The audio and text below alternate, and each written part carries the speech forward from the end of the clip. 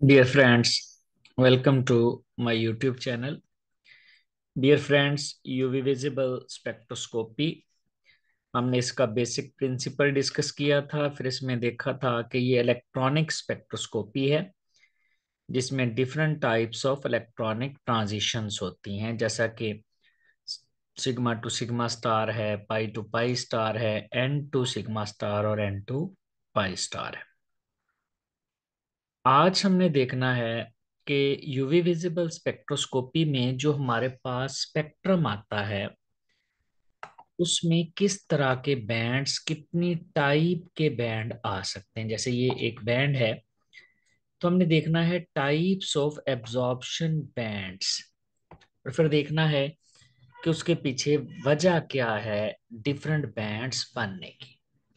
ये लेक्चर बहुत ज़रूरी है नेक्स्ट लेक्चर जो हम स्टार्ट करने जा रहे हैं एरोमेटिक सिस्टम के लिए। जो एब्जॉर्प्शन बैंड्स हमने डिस्कस करने हैं, उनको समझने के लिए ये लेक्चर अंडरस्टैंड करना ज़रूरी है। तो सबसे पहला जो बैंड है दैट इज़ के बैंड के जर्मन वर्ड कॉन्जुजीरेट से है। कॉन्जुगेट जिसको हम कहते हैं, इसका मतलब है ये कॉन्जुगेटेड सिस्टम में होगा। और कॉन्जुगेशन हम पढ़ चुके हैं। कॉन्जुगेशन में पर्टिकुलरली जो कॉमन वाली है that is pi sigma pi यानी अल्टरनेट डबल और सिंगल बॉन्ड होते हैं। तो ये कॉन्जुगेटेड सिस्टम में होगा। सबसे पहली बात, ये वाला बैंड तब बनेगा जब सिस्टम कॉन्जुगेटेड होगा। और इसकी इंटेंसिटी टेन थाउज़ेंड से ज़्यादा होगी, यानी मोलर एब्जॉर्बिविटी जो हमारे पास स्पेक्ट्रा आता है, उसमें ये जो हाइट आती है, ये वाली, ये पीक की जो हाइट है, इसको कहते हैं इंटेंसिटी या मोलर एब्सॉर्बिविटी ई मैक्स इसकी वैल्यू दस हज़ार से ज़्यादा आएगी। और अगर ये वैल्यू टेन थाउज़ेंड से ज़्यादा आए तो हम कहते हैं ये अलाउड ट्रांजिशन है। याद रखिएगा, चूँकि के बाड कॉन्जुगेटेड सिस्टम में है पाई टू ये पाई सिग्मा पाई तो इसका मतलब है यहाँ पर हमारे पास pi to pi star transition होंगे। यानी ये बैंड, ये वाला जो बैंड है हमारे पास तब बनेगा जब पाई से पाई स्टार ट्रांजिशन होगी। जैसा कि हमारे पास ये वाला यूवी विजिबल स्पेक्ट्रा है वन थ्री ब्यूटा डाइन का। अब जो one three butadiene system है, ये कॉन्जुगेटेड सिस्टम है। इसमें दो पाई बॉन्ड है वन और थ्री पोजीशन पे। इसका मतलब है यहाँ पर pi to pi star transition हो सकती हैं और इसकी इंटेंसिटी भी फिर टेन थाउज़ेंड से ज़्यादा होनी चाहिए, क्योंकि ये अलाउड ट्रांजिशन होती हैं। तो यहाँ पर ये जो हमारे पास सिस्टम है मंथली ब्यूटाडाइन, इसमें ये जो हमारे पास लेमडा मैक्स आती है, ये वाली जो वैल्यू आती है लेमडा मैक्स की 217 नैनोमीटर आती है और फिर इसकी जो मोलर एब्सॉर्बिविटी है, ये जो आपको हाइट नज़र आ रही है इंटेंसिटी नज़र आ रही है, ये ट्वेंटी वन थाउज़ेंड है। तो ये वाला जो बैंड है, ये जो कॉन्जुगेटेड सिस्टम में आएगा, इसको कहती है के बैंड के बैंड जो है, ये अलाउड ट्रांजिशन की वजह से होता है और इसकी इंटेंसिटी टेन थाउज़ेंड से ज़्यादा होती है। फिर हमारे पास दूसरा बैंड है R band R German word radical Arctic से है। अब जो आर बैंड है, ये n to pi star transition की वजह से होते हैं। अब यहाँ पर एन भी है और पाई स्टार भी है। एन से मुराद है, यहाँ पर लोन पेयर होगा। नॉन बॉन्डिंग इलेक्ट्रॉन पेयर होगा। और फिर पाई स्टार से मुराद है, यहाँ पर हमारे पास पाई बॉन्ड भी होगा। यानी यहाँ दो चीज़ें होनी ज़रूरी है। नंबर वन पाई बॉन्ड भी होना ज़रूरी है और नंबर टू पे लोन पेयर भी होना ज़रूरी है। फिर जाकर n to pi star transition होगी और फिर हमारे पास आर बैंड अपीयर होगा। जैसा कि आप एल्डिहाइड कीटोन्स को देखें C double bond O group है। तो यहाँ पर ऑक्सीजन पर लोन पेयर भी हैं और फिर कार्बन ऑक्सीजन के दरमियान पाई बॉन्ड भी है तो इसका मतलब है यहाँ पर हमारे पास आर बैंड अपीयर हो सकता है। एल्डिहाइड कीटोन है कार्बोक्सिलिक एसिड्स वगैरह वगैरह। अब ये जो n to pi star transitions हैं, इनके लिए सिंगल क्रोमोफोर जैसा कि एल्डिहाइड कीटोन में ये सिंगल क्रोमोफोर ग्रुप होता है सी डबल बॉन्ड हो, या किसी जगह पे एनओ टू आ गया तो लोन पेयर भी आ जाएगा ऑक्सीजन पे और फिर पाई बॉन्ड भी आ जाएगा एनओ टू में। और फिर लोन पेयर होना चाहिए। यानी क्रोमोफोरिक ग्रुप जैसे कार्बोनिल है नाइट्रो है और साथ साथ लोन पेयर भी मौजूद होना चाहिए। इसकी इंटेंसिटी बड़ी कम होती है। हंड्रेड से भी कम है, इसका मतलब है ये फॉरबिडन ट्रांजिशन होगी।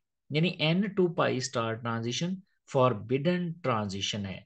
ये अलाउड और फॉरबिडन ट्रांजिशन में डिस्क्रिप्शन में ये लेक्चर दूँगा। ये भी समझना बहुत ज़रूरी है, ये आप वो वाला लेक्चर मेरा जो पहले रिकॉर्ड हो चुका है वो सुन सकते हैं तो आपको क्लियर हो जाएगा कब अलाउड ट्रांजिशन होती है और कब फॉरबिडन ट्रांजिशन होती है, उसकी लॉजिक क्या है। जैसे कि ये हमारे पास एक स्पेक्ट्रम है एसीटोन का। अब एसीटोन में C double bond O group होता है अगर C double bond O group है तो लोन पेयर भी आ गया पाई बॉन्ड भी आ गया n to pi star transition भी होगी आर बैंड भी आ जाएगा, ये वाला बैंड आर बैंड इसकी जो लेमडा मैक्स है वो 270 नैनोमीटर है। लेकिन इसकी मोलर एब्जॉर्बिविटी चेक करें, तकरीबन 15 है, यानी बहुत कम है molar absorbivity just 15 it means ये फॉरबिडन ट्रांजिशन है। तो ये हमारे पास आ जाएगा जो आर बैंड है, जहाँ पर लोन पेयर होगा और एन टू पाई ट्रांजिशन होंगे।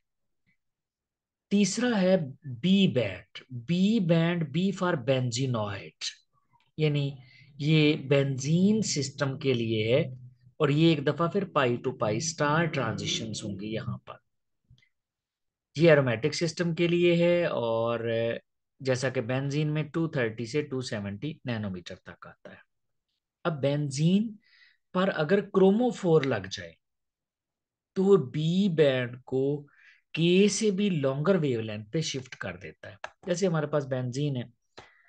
बेंजीन रिंग के लिए जो हमारे पास बैंड आएगा दैट इज़ बेंजीनॉइड बैंड अब जो बेंजीनॉइड बैंड है बी बैंड है, ये और ज़्यादा लॉन्गर वेवलेंथ पे शिफ्ट हो जाता है बी बैंड लॉन्गर वेवलेंथ पे चले जाता है के से भी अगर इसके ऊपर कोई क्रोमोफोर लग जाए, जैसे एनओ टू ग्रुप लगा दें, जैसे कार्बोनिल ग्रुप एल्डिहाइड का लगा दें कीटोन का लगा दें, जैसे ये एसिटाइल बेंजीन है एसिटोफिनोन है यानी कोई क्रोमोफोर लग जाएगा तो बी बैंड लॉन्गर वेवलेंथ पे चले जाएगा। अब यहाँ पर अगर हम स्पेक्ट्रम देख लें, ये वाला, ये एसिटोफिनोन का है। अब इसीटोफिनोन में ये वाला जो बैंड है, ये के बैंड है। के फॉर कंजुगेट ये हमने पहले देख लिया। और के बैंड जो है, ये अलाउड ट्रांजिशन शो करता है, इसकी इंटेंसिटी अच्छी खासी होती है। अब अगर इसकी हम लेमडा मैक्स चेक कर लें तो ये 240 नैनोमीटर है। ये वाली this is 240 nanometre this one 240 और इसकी इंटेंसिटी देखें कितनी ज़्यादा है। यहाँ से ये स्टार्ट हो गई, यहाँ तक इसकी इंटेंसिटी है थर्टीन थाउज़ेंड यानी टेन थाउज़ेंड से ज़्यादा है। अगर ये टेन थाउज़ेंड से ज़्यादा है तो इसका मतलब है ये हमारे पास अलाउड ट्रांजिशन है। फिर यहाँ पर एक छोटा सा बैंड और भी है 278 नैनोमीटर के करीब। अब देखें ये लॉन्गर वेवलेंथ पे चले गए इसका मतलब है ये बी बैंड है। बी बैंड लॉन्गर वेवलेंथ पे चले जाता है। और जो बी बैंड है, उसकी इंटेंसिटी चेक करें जस्ट अलेवन टेन है। इसका मतलब है ये अलाउड नहीं है। ये फॉरबिडन ट्रांजिशन की वजह से होता है। तो के जो है, ये वाला कॉन्जुगेटेड कॉन्जुगेशन की वजह से है और इसकी इंटेंसिटी ज़्यादा होती है के बैंड की और ये अलाउड ट्रांजिशन की वजह से होता है। जबकि ये जो बी बैंड है 278 पे जो आया है हमारे पास ये जो बी बैंड है, इसकी इंटेंसिटी कम होती है और ये फॉरबिडन ट्रांजिशन की वजह से होता है।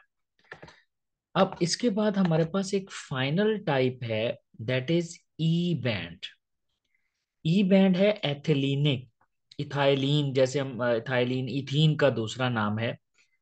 ये भी pi to pi star transition की वजह से होगा। और बेंजीनॉइड सिस्टम में तीन एथिलीनिक बॉन्ड होने चाहिए। जैसे बेंजीन में होते हैं तीन बॉन्ड तो उसमें एथिलीनिक मीन्स दो दो कार्बन होंगे यहाँ पर। जैसे एक एथिलीनिक ये हो गया, दो कार्बन, एक ये हो गया और एक ये हो गया। एथिलीनिक, और ये सारे के सारे क्या होने चाहिए? बेंजीनॉइड का मतलब है कॉन्जुगेशन में भी होने चाहिए। जैसे बेंजीन में कॉन्जुगेशन में है क्लोज सिस्टम एरोमेटिक तभी होगा जब ये क्लोज सिस्टम होगा। तो सिस्टम क्लोज्ड भी होना चाहिए, एक बात बेंजीनॉइड, यानी तीन पाई बॉन्ड उसमें होने चाहिए तो फिर जाके ई बैंड्स अपीयर होते हैं। अब ई बैंड जो हैं, ये फर्दर दो तरह के होते हैं ई वन और ई टू जैसा कि बेंजीन में E one one eighty four पे और E two two zero two पे अपीयर होता है, इनको प्राइमरी बैंड्स भी कहते हैं। ये हम डिटेल से पढ़ेंगे नेक्स्ट लेक्चर में कि एरोमेटिक कंपाउंड में एब्जॉर्प्शन बैंड किस तरह के आते हैं और डिफरेंट सब्सटीट्यूएंट्स उनको कैसे अफेक्ट करते हैं। देखें, ये हमारे पास स्पेक्ट्रा है बेंजीन का। बेंजीन में देखें तीन पाई बॉन्ड मौजूद हैं एथिलेनिक बॉन्ड्स तीन मौजूद हैं। इसका मतलब है इसमें ई e बैंड्स आएँगे और ई e बैंड ये ई e वन और ई टू अब ये जो ई वन है, ये वाला, ये आता है वन एटी फोर पे, यहाँ पर। वन एटी फोर पे आता है, जबकि ये आता है टू ज़ीरो टू के करीब आता है, ये जो हमारे पास है, दूसरे वाला band E two E one की इंटेंसिटी चेक करें, ज़्यादा है। ई e वन जो है this is more intense than E two कितनी होती ई वन की? ई e वन जो है फोर्टी सेवन थाउज़ेंड पे आता है। Pi to pi star transition है। फोर्टी सेवन थाउज़ेंड इसकी मोलर एब्जॉर्बिविटी यानी इंटेंसिटी है। मींस ये अलाउड ट्रांजिशन है। ई e टू में सेवन फोर डबल ज़ीरो है। टेन थाउज़ेंड से कम है, लेकिन फिर भी अच्छी इंटेंसिटी है। As compare to this one ये जो हमारे पास बैंड है this one is E one this band is E two अब ये जो हमारे पास आया है, इसको कहते हैं सेकेंडरी बैंड ये फाइन स्ट्रक्चर होती है। फाइन स्ट्रक्चर और ये सेकेंडरी बैंड है। नेक्स्ट लेक्चर में हम इसकी रीजन भी पढ़ेंगे कि इसमें इतनी फाइन स्ट्रक्चर आती क्यों है? इतनी फाइन स्ट्रक्चर आने की वजह क्या है? लेकिन इसकी इंटेंसिटी ई वन और ई e टू दोनों से दोनों से कम होती है और सिर्फ़ टू थर्टी है। ये पेयर हुआ टू फिफ्टी फाइव पे।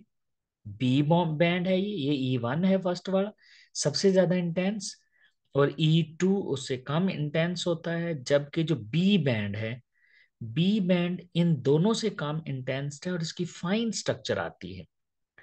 और इसकी वेवलेंथ 255 है, और फिर इसकी जो मोलर एब्सॉर्बिविटी है, वो 230 है। तो ये हैं डियर फ्रेंड्स तीन तरह के हमारे पास सॉरी चार तरह के हमारे पास बैंड्स एक है हमारे पास के बैंड कंजुगेट सिस्टम में, फिर आर बैंड है, जहाँ लोन पेयर आ जाए।